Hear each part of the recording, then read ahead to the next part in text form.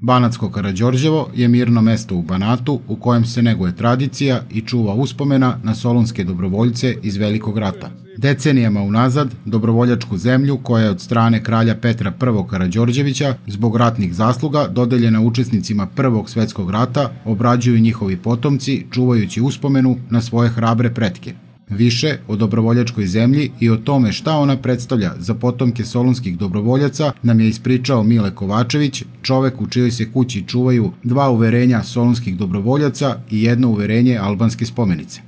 Kralj Petar I. Karađorđević je otkupio zemlju u ovom delu Banata od mađarskog grofa Andrija, Andrija Andraša Čekonića Tako kupljenu zemlju je podelio svojim dobrovoljcima sa Solunskog fronta. Tom podelom zemlje je svaki solunski dobrovoljac dobio sedam lanaca zemlje kao jednu parcelu, kao jednu celinu u jednom komadu. Drugi ostatak zemlje je deljen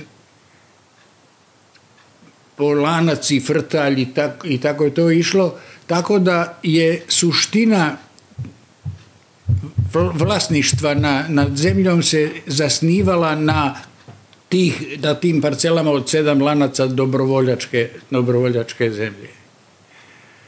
Tada do drugog svjetskog rata, pa tek posle drugog svjetskog rata u tu zemlju niko nije dirao da je nepravedna komasacija zemljišta u Banatskom Karađorđevu ujedinila i staro i mlado, potvrđuje Tomo Krtinić, koji je objasnio šta za njega kao mladog čoveka znači dobrovoljačka zemlja.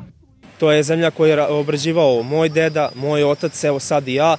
I sada neko, samo radi svog interesa, da tu zemlju uzima kao da je njegova. Znači, ja stvarno ne mogu da verujem u 21. veku da neko može samo da dođe da kaže, e, danas ova tvoja imovina više nije tvoja. Radovan Krtinić je objasnio kako je nastao problem u vezi komasacije zemljišta u Banatskom Karadžorđevu.